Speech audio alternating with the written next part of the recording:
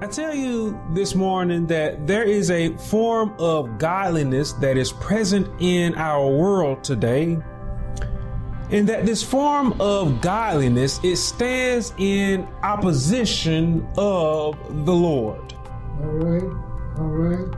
In his second letter to Timothy, All right. Paul wrote about the perilous times of the last days. Mm-hmm. Yes. sir. And we'll see that he stated that people will become lovers of themselves, Yes. Yes. that they will be lovers of money, along with being despisers of good, Mm-hmm. while having a form of godliness Yeah. as well. Yes. Now, depending on the kind of godliness of someone, All right. godliness can either be a good thing or it can be a bad thing. Amen. Yes. Now, true godliness we would consider as being dedicated and being devoted to righteous living. Yes. Yes. Now, let us understand here today that in order for us to live righteously, we know this already. All right. We know that we have to live by the way of Christ. Yes, sir. Now, as you know, God is righteous. Mm-hmm. As you know, He alone is righteous. There is nothing, there is nobody else Mm-hmm. that is righteous but Him. The only way that you and I could ever be righteous is through Him, our faith in Him. My Lord. Yes, sir. Now, unfortunately, we are certainly living at a time where people are lovers of themselves. All right. Now, what I mean by this is that we are living at a time where people are overly selfish Yes. and they are overly stuck in their own way. Yes, sir. So they rather stay in their way mm-hmm. rather than become lovers of the way of Christ. Yes. Yes. So in their self-love, we find that many people that they glorify and that they esteem themselves Yes. above the Lord in their own self-imposed righteousness. Mm-hmm. So I tell you again today that there is a battle taking place in our world and that battle is now taking place between man and between God himself. Yes. Some of us are at war with the Lord, with the Lord because of our mindset mm-hmm. and because of the manner in which we live our lives. Yes. I point this out to you today because I want to keep all of you mm-hmm. from being at war with God. All right. I want to keep every last one of you from being at war with the Lord because I know the end results Yes. of being at war with God. Yes, sir. Do you know the end results of being at war with the Lord today? Yes. Yes. My dad, he once said in a sermon many, many years ago, he said that our arms are too short to box with God. Yes, sir. Yes, sir. I tell you today that being at war with the Lord, Mm-hmm. Trying to fight against God, Mm-hmm. I tell you, it is a losing battle. Right on. Yes, sir. Here in the book of Exodus today, we are told of two men who went to war with God. Mm-hmm. Both of these men, I want you to know, were kings of Egypt. In other words, they were pharaohs. Yes. Yes. Now, if you happen to turn over to the very first chapter of Exodus, you'll see that in the opening chapter of Exodus, we are told of the first Pharaoh that stood in opposi- opposition against the Lord. This Pharaoh, we are told that he did not know Joseph. All right. Now, what was important about this is that you recall that Joseph, when he was sold into bondage by his brothers, that Joseph, he ended up rising up and having a very prominent position in Egypt Yeah. under the previous Pharaoh. Mm-hmm. Yet this Pharaoh, he came along and he did not know Joseph and right. he looked at Joseph's people, he looked at the children of Israel, Mm-hmm. And he considered their growth. Yes. And we'll notice in the first chapter of Exodus that this Pharaoh, he began to worry about the children of Israel. That's right. Yeah. He worried that they would grow mighty and that they would become a problem for Egypt. That's right. Yes. And because of this worry, Mm-hmm. we see in scripture that he and the Egyptians, they chose to deal shrewdly with the children of Israel Yes. and that they ended up putting the children of Israel in bondage. That's right. Yes. Mm-hmm. This was the first Pharaoh that we read of in Exodus. This was his opposition against the Lord. Mm-hmm. Now, let us remember this about the Egyptians before we go any further here today. The Egyptians were, and they still are, considered to have been a very advanced civilization. All right.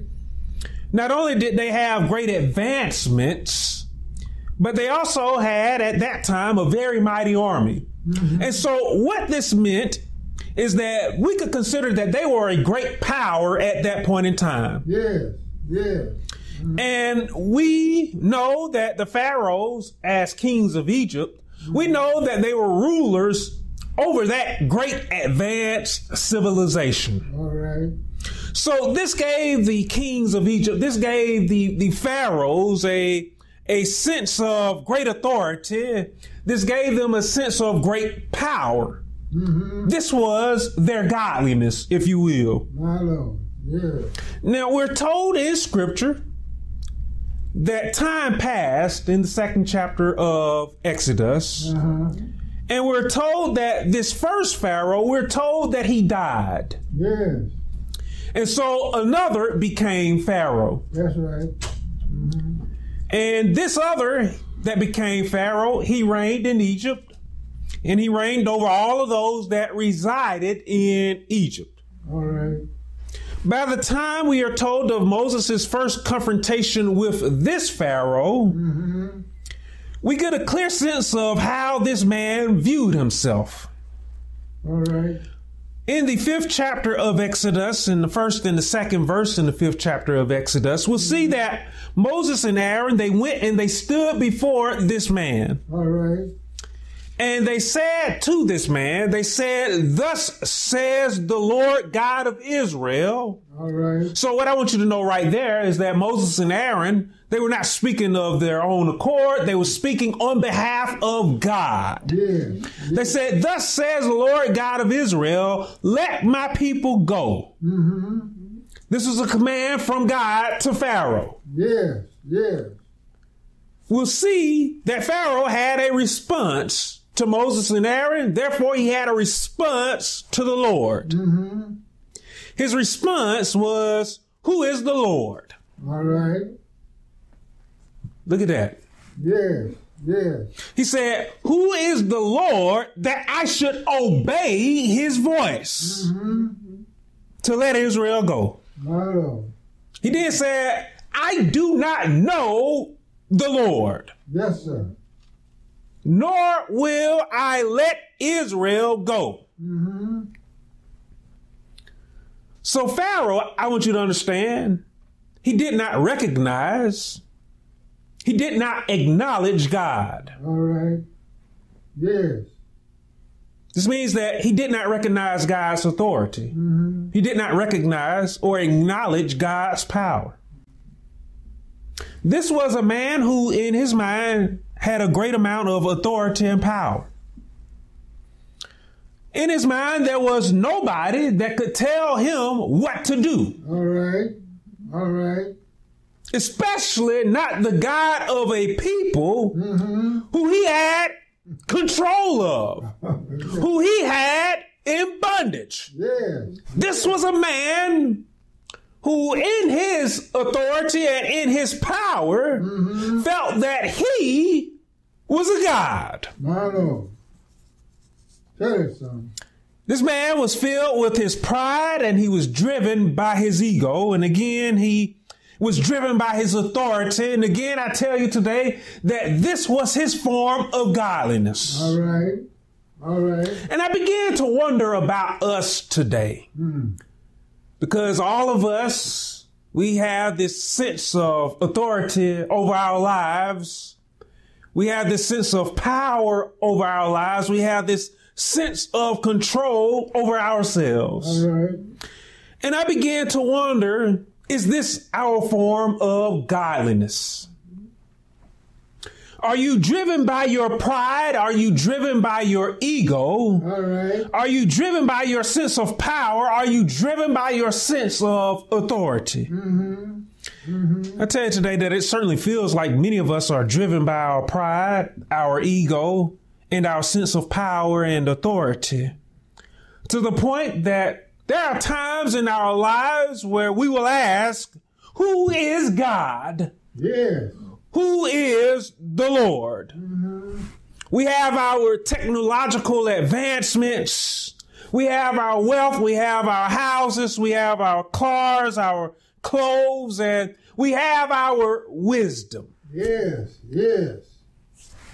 In our minds, we are at the top of the chain in this world. Yes, sir. There is nothing that is like us, mankind. Mm-hmm. Who is the Lord? Why do we need him in our life? Is what we'll ask. What I want you to understand here today is that such pride and ego is what puts us at odds with God. All right. Tell us, son. I believe this to be true for both believer and non believer. All right. There are believers who get to a point to where they begin to think that they don't need God. We are above that thought today. Don't sit here and think that you are. All right. We as believers have to make sure we always check our pride and our ego at the door before the Lord. Mm-hmm. Do you hear me here today? Mm-hmm. David said, though the Lord is on high, yet he regards the lowly, but the proud he knows from afar. Yes. I tell you today, put your pride and ego in check before the Lord. Mm-hmm. So, in his pride and in his ego, Pharaoh, I want you to understand here today, he had no fear of disobeying a direct command that came from God. All right. I want you to hear here today that this man, he was open in his disregard of the Lord. Yes. This is certainly not a good thing here. To be open in a manner of disregard of the Lord and the command that came from him. And we'll see that this caused him and all of Egypt to be at war with the Lord. Mm-hmm. Now, let's look at what it's like to be at war with God here today. All right.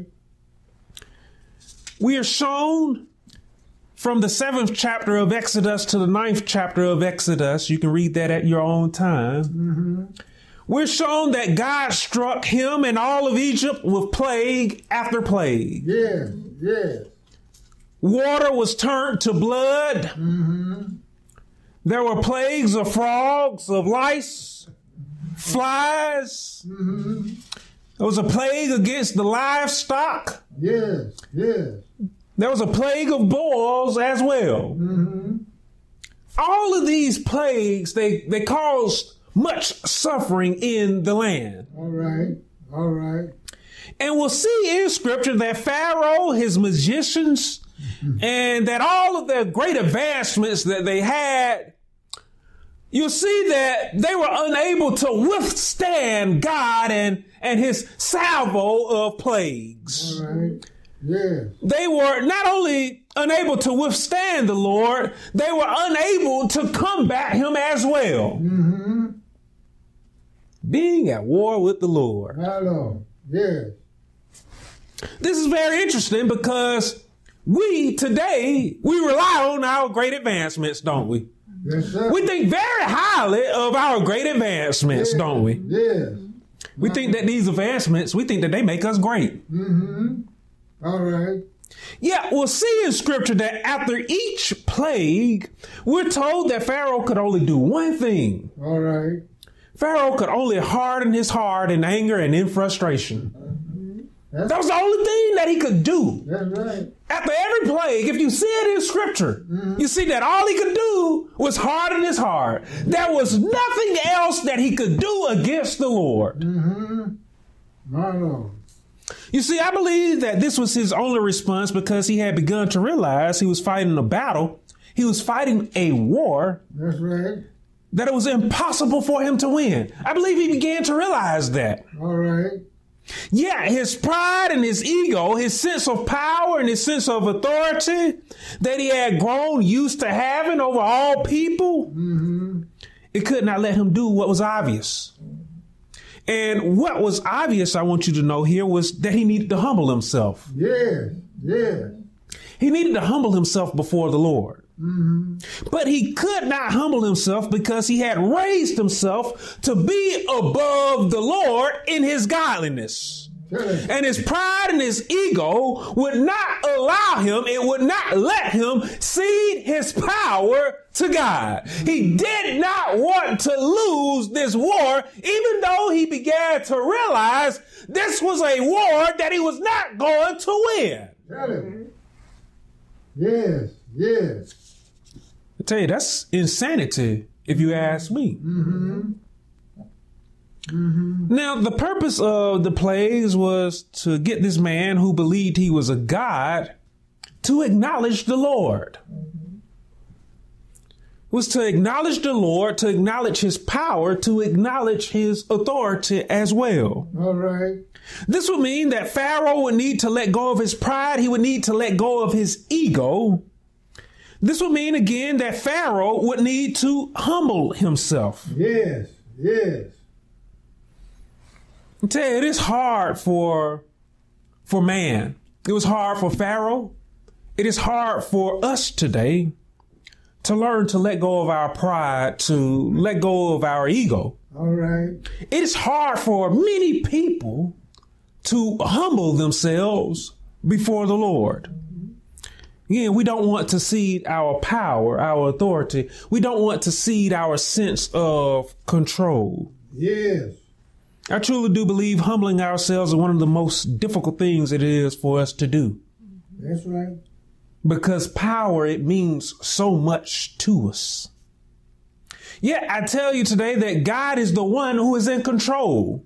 Yes. God is the only one who is in control. God is the one who has all of the power and who has all of the authority over not only us and this world, but over all of creation. God is the one who created all that we know and all that we do not know. God is the sovereign. God is the one with the authority. God is the one with the power. Only He has it. Yes. My Lord. Trying to combat the Lord's power and authority, I want you to understand today, it is futile. Mm-hmm. It is pointless. And this is a lesson that Pharaoh needed to learn. And I tell you today that this is a lesson that many of us need to learn as well today. Many of us are combating the Lord. And I tell you today that it is futile for us to be doing that. By the time we get to the text of my key verse here in the ninth chapter of Exodus, we'll see that we are now in the seventh plague. Mm-hmm. All right. And we'll see that God was increasing the might of the plagues. Mm-hmm. And the Lord was doing this because Pharaoh was not relenting in his heart. Yes. And what I want you to understand here today is that's where the battle was actually taking place mm. in the heart of Pharaoh. That's where the battle takes place today Yes. between God and man, mm-hmm. in the heart of man. And again, I want you to understand when I'm talking about the heart of man, I'm not talking about, one, about the one that's inside of our chest. I'm talking about the mind, I'm talking about the spirit. Yes. That is where the battle takes place. God seeks for us, God seeks for mankind to acknowledge Him in our hearts today. Yes. Yes. All right. As you have heard me say before, our confession must be made in our heart and not just by our mouths. Mm-hmm. Paul stated, if you confess with your mouth the Lord Jesus and believe in your heart that God has raised him from the dead, Paul said, you will be saved. Again, notice what Paul said. He said, if you confess with your mouth the Lord Jesus, but he also said, and if you believe in your heart. Yes. Yes. Confession with the mouth is not enough. All right. It is what goes on in your spirit. Yes. Yes, sir. Pharaoh needed to relent in his heart, and many of us need to relent in our heart today as well. Yes. The Lord, through Moses, said in the 16th verse, in my key verse today, said to Pharaoh, For this purpose I have raised you up, that I may show my power. Yes. That's God speaking there, and he's speaking again to Pharaoh. Say, I have raised you up that I may show my power in you, and that my name may be declared in all the earth. Yes. Yes. So again, the Lord was seeking for Pharaoh to acknowledge him, but not only was God seeking for Pharaoh to acknowledge him, we'll see here that the Lord was also seeking for the world to acknowledge him as well. God was seeking for the world to recognize that he and that he alone is the one true authority and the one true power. Yeah, All right. What I want you to know here today Mm-hmm. is at that point in time, God was putting mankind on notice. Yes, sir. Do you hear me here today? God was putting mankind on notice. Yes. All those centuries ago, the Lord was putting mankind in his place. Yes. Right. Do you hear me here today? Yeah. Yeah. God wanted mankind to know that you are not God. That's right.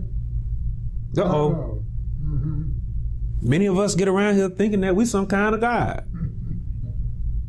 The Lord said centuries ago, you ain't me. My Lord. All right. Yes. Mm-hmm. Here we are today, 2021. All right. Look at us, Mm-hmm. mankind. We still move about in this world today with few of us recognizing the Lord, with few of us acknowledging God, Mm-hmm.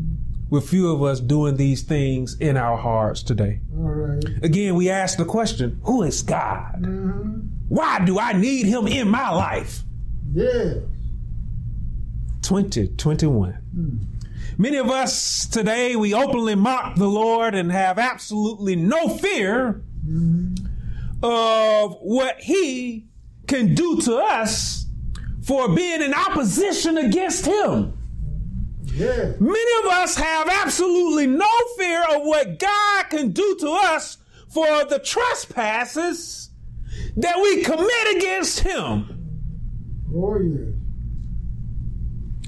I believe that there are many times in our lives when God reaches out to us mm-hmm. to either get our attention or to put us on notice. All right. Yes. Yes. Yet many of us, like Pharaoh, will harden our hearts and will pay very little to no attention to God trying to get our attention or the Lord putting us on notice. We'll tilt our heads in the air and we'll just keep on going by our business. All right. Why do we do this? We do this because some of us, just like Pharaoh, we have put ourselves above the Lord. Yes. And we feel that we have little need to acknowledge the Lord. We feel that we have little need mm-hmm. to pay God any attention. Mm-hmm. I tell you today that some of us truly have no fear of the Lord. Lord. And I tell you, that actually scares me. Yes. Yes. For someone not to fear the Lord. We're then told in scripture here in the ninth chapter of Exodus, We're then told that prior to the plague of hail, we'll see there in the 19th verse, we'll see that God actually gave a warning to Pharaoh. He gives a warning to Pharaoh about the upcoming plague. Yes.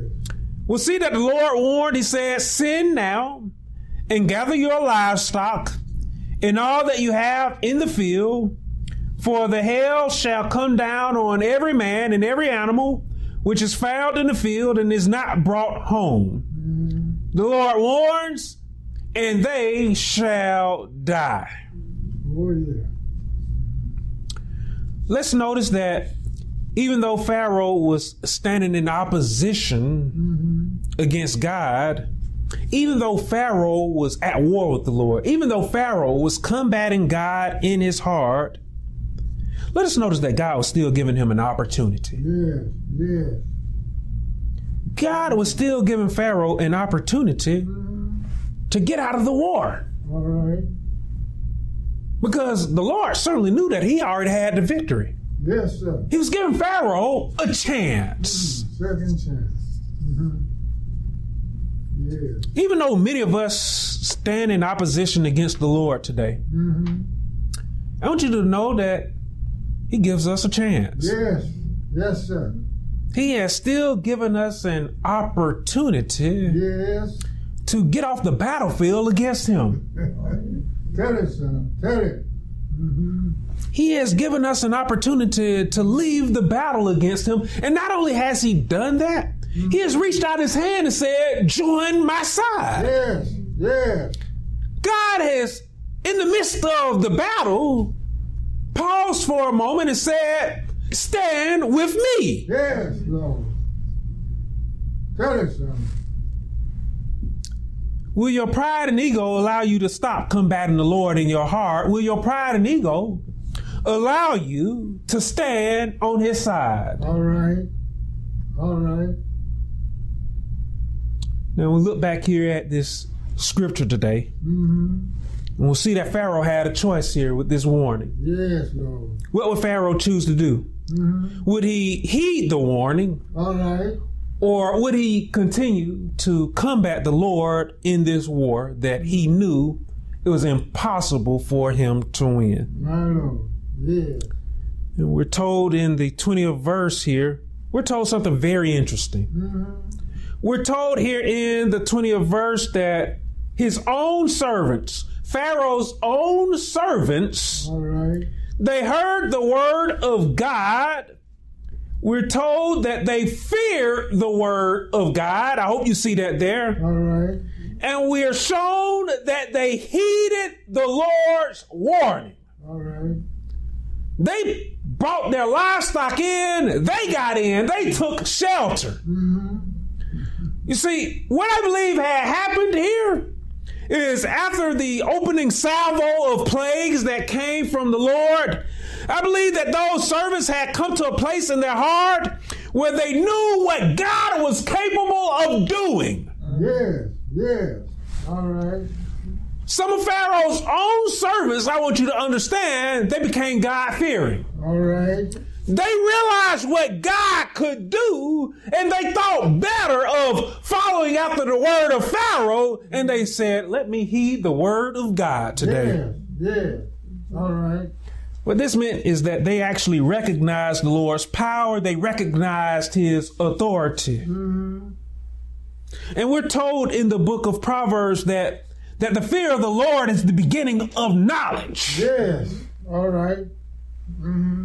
If you fear the Lord, you are being wise. Yeah. It is the beginning of knowledge. That is what Solomon said. Uh-huh. But on the flip side of that, Solomon said, Yet fools despise wisdom and knowledge. Yes, Lord. So we're shown here in the ninth chapter of Exodus that some of the servants of Pharaoh, mm-hmm. we're told that some of them heeded the warning of the Lord. Yeah. Yeah. Yet on the flip side, like the proverb said, All right. some were foolish. Yeah. Some were foolish Mm-hmm. and they disregarded God's warning. All right. Yeah. They disregarded the Lord's warning. They followed after Pharaoh. They did not fear the Lord. Mm-hmm. They had not learned from the first few plagues that the Lord had plagued them with. All right. And they still chose to be foolish. Yes. Yes, Lord. Now, what do you suppose became of those that did not fear the Lord that day? What do you suppose happened to all those that did not heed the warning? Mm. Well, we'll see from the 22nd through the 25th verse there. We'll see that the hail came. Yeah. We are told that the heavy hail came and that it was mingled with fire. Mm-hmm. And we're told that it struck the land and all of the people and all the beasts that was in the land of Egypt. Yeah. Didn't touch Goshen. All right. It hit all of the land of Egypt and all of those that chose to stay with Pharaoh, all those that chose not to heed the warning. Mm-hmm. They died. Yes. Yes, Lord. This plague, I want you to understand, it was awful. Mm-hmm. It was terrifying, this plague was. Yes. This plague was so terrifying that we'll even see there in the 27th verse, we'll even see Pharaoh for a very brief moment here. We'll see that he relented. Mm-hmm. This man who was so stuck up in his, his pride and in his ego, his authority and his power, his sense of godliness. Mm-hmm. We'll see that even for a brief moment, we'll see that he relented and that he acknowledged his sin Yes. and that he said that the Lord is righteous. Well, now we would think that that's a good thing, right? All right. But I want you to understand here, I want you to note something there as well. That from the 28th through the 35th verse, we'll see that while he relented in this brief moment, we'll see that it didn't last long. Right. It didn't last long because he didn't let go of his ego. He didn't let go of his pride. He didn't let go of his sense of power and his sense of authority. He mm-hmm. didn't let go of his form of godliness. Right. In other words, this man, he did not humble himself. Yes. Yes. Mm-hmm. He did not relent, nor did he truly humble himself in his heart. All right. We're told that Pharaoh, he hardened his heart again mm-hmm. after Moses entreated the Lord and the hail stopped. It angered him. Yes. It frustrated him mm-hmm. that God had this kind of authority, Yeah. that God had this kind of power, and that Moses was working on behalf of him. Mm-hmm. it angered Pharaoh. Yes. Pharaoh knew that he didn't have this this this kind of authority, mm-hmm. this kind of power, and it angered and it frustrated him. There are many people who in our world today they know that God is God, Yes, sir. but they can't let go of their ego and their pride. They can't humble themselves. They see the power that God has. Mm-hmm. They see how the Lord blesses you today. And it angers and it frustrates them because the Lord blesses you. Mm-hmm. My It upsets them. Mm-hmm. Pharaoh, he would go on to suffer greatly in this war with God. Mm-hmm. As we know, his son died in the plague of the firstborns, Yes. along with many other Egyptians. Mm-hmm. And it's truly a tragedy that Pharaoh was that way. Lord. Mm-hmm. Because this war was over before it even began. Yes. Yes. This war was over before it even started because who can stand against God? Who can stand against the Lord? Had Pharaoh simply acknowledged God the first time around, he nor the people of Egypt, they wouldn't have had to suffer anything. Had he simply acknowledged the Lord the first time around and freed the children of Israel, there would have been no suffering. I speak to you today, uh, Pharaoh, and the lesson that we can learn from him, because I believe that there are a great many pharaohs that are living in our land today. Yes. Yes. Now, some will take that as a compliment, Mm-hmm. but I want you to understand here, I don't say that as a compliment. All right. I don't say that as a compliment to say that there are many kings and many queens that are living in our world today. Mm-hmm. Now, I suppose that we will think of ourselves as kings and as queens, and, and I suppose there's nothing wrong with thinking of yourself as a king. I suppose there's nothing wrong with thinking your, of yourself as a queen. Mm-hmm. But I do believe that there is a line that you cannot cross. Mm-hmm. I believe that there is a point that we cannot cross. That point is when we are challenging the Lord's power and authority in our form of godliness. Yes. Again, I ask the question here today Who are we to challenge the Lord's power and authority? Oh, yeah. Yeah. I speak of Pharaoh today because there are so many of us who have absolutely no fear of the Lord today. Mm-hmm. Many of us, we live our lives with no concern for how the Lord looks at us. Many of us, we live our lives today with no concern for how the Lord is going to judge us for how we have lived in this world today. Right. Many of us, we live our lives with no concern with how God is re- going to respond to the actions that we have taken in our lives. Yes, yes. Oddly enough, some of us fear other people, mm-hmm. like Pharaoh. Mm-hmm. We fear other people more than we fear God. Yes, sir. Some are more afraid of others because of the color of their skin. Mm-hmm. Some are more afraid of others because they're a woman. Mm-hmm. And because they can think for themselves. Mm-hmm. And because they can't lord over and they can't rule over the woman and the decisions that she chooses to make for herself. Yes, yes, yes. There are so many people in our world today who fear others because of the absolute nonsense and foolishness that they have come up with in their own head or have heard from others who are foolish as well. Yeah, I tell you today that we ought to fear the Lord and his judgment. Oh, yeah. We ought to fear God more than we fear man. As scripture tells us, every knee will bow to the Lord and every tongue will confess to him. Mm-hmm.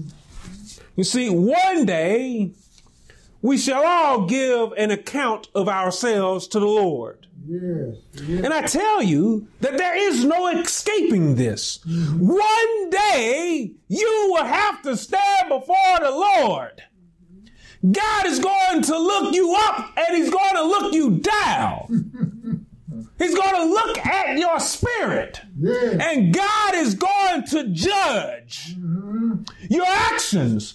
You are going to confess with your own mouth the actions that you have taken in your life. Mm-hmm. Will you fear how the Lord is going to look at you? Yes, Will you fear how God is going to judge your actions? Mm-hmm. The Lord is going to judge us for all of our actions in this life that we have lived. So I say to you today that it will be better if you live your life in a manner in which you fear Him. Yes. It will be better if you live your lives today in a manner in which you fear the end results of God's judgment of you Yes. rather than mock his judgment by constantly, diligently living in opposition in that war with him. Yes, Lord. Yes. You see, a God fearing person, I tell you today, is one who again shows acknowledgement of the Lord. But I also want to point this out to you as well. Because they feared the Lord and because they feared the Lord's judgment, All right. the God fearing person shows devotion to wanting to please the Lord in how they live. Do you fear the Lord to the point that you fear how God is going to judge you and you devote your life to pleasing Him in the manner in which you live? I certainly hope that you do this. Scripture proclaims to us that without faith it is impossible to please Him. The Him being God says it is impossible to please him, for he who comes to God must believe that he is. That means you must acknowledge him. Yes. And that he is a rewarder of those who diligently seek him. I tell you today that you ought to live your life in a manner in which you desire to please the Lord, Yes. not openly disregard his way. Mm-hmm. The Lord is a rewarder of those who cast away their pride, those who cast away their ego. God is a rewarder to all those who will humble themselves, mm-hmm.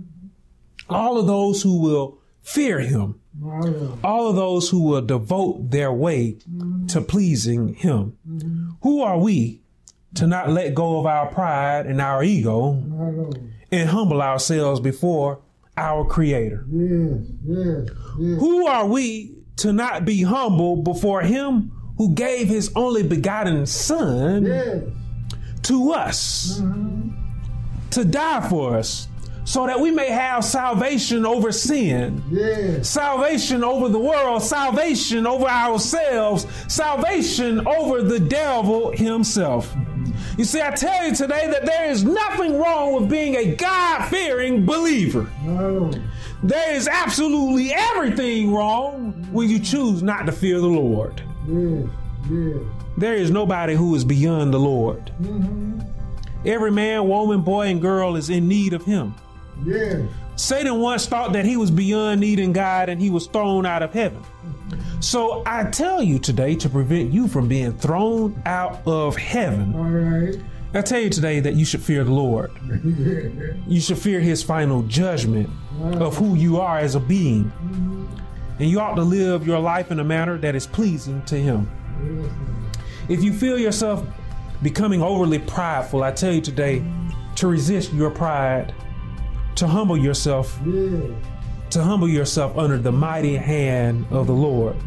And I tell you, in due time, God will exalt you. Amen. Amen. Yes. Amen.